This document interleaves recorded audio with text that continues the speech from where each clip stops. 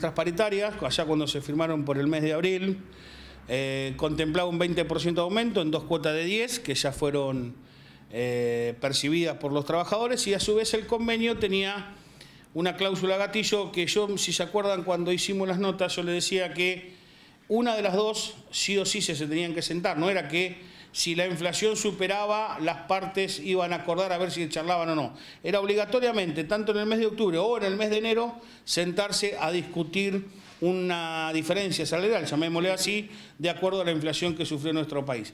Bueno, en el día de ayer se pudo firmar, finalmente se acordó con las cámaras, que va a ser homologado por el Ministerio de Trabajo, un 6% más de aumento, o sea, ese 20 que percibieron los trabajadores van a percibir un 6 más, que va escalonado en tres cuotas de 2%. 2% en enero, 2% en febrero y 2% en marzo. Lo importante de esto es destacar que estos, este 6% escalonado en, en los 2% va directamente al básico.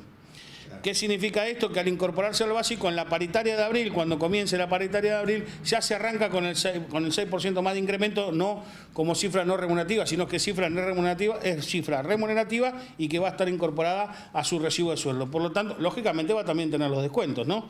Pero lo importante que destacar de esto es que la paritaria del año 2017 termina cerrando para los empleados de comercio en un, 20, un 26% de aumento, 20 que ya percibieron y un 2, un 2 y un 2 que van a percibir ahora en los meses de enero, febrero y marzo. ¿Se resguarda el bolsillo así? A ver, si vos me decís, yo para los trabajadores siempre quiero más. Esto es una realidad, porque eh, estamos viviendo no solo el proceso inflacionario, el aumento del dólar también genera eh, eh, incremento, incremento en, distintos, en distintos rubros que en definitiva le terminan afectando al bolsillo del trabajador. Lo que sí, bueno, está bueno por lo menos destacar de que hubo una, un paliativo para llegar hasta las paritarias del mes de abril y que hubo una cláusula gatillo que se pudo hacer efectiva y que se pudo contemplar, cosas que algunos han cerrado paritarias durante todo el año y que hoy no tienen eh, motivo para discutir o motivo para poder eh, lograr algún incremento más para sus trabajadores. Miguel, ¿y este 6% de dónde, de dónde sale? ¿Del índice inflacionario?